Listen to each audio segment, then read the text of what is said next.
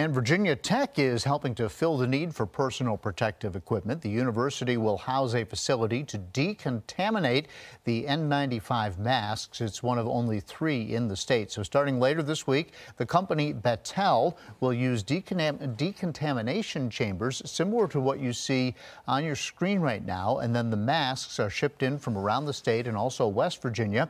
The site cleans them and then ships them back to be reused. The company is setting up two other facilities, one in Hampton Roads, one in Chesterfield County. In all, the company is setting up 60 sites across the country. We're going to fill the chamber with hydrogen peroxide and let it clean for a few hours. And then once that's done, we're going to purge that gas for a couple hours, monitor it, make sure the chamber is safe for our personnel to go back in, and the masks are clean. And if your business is interested in using this service, we have how you can sign up at WSLS.com.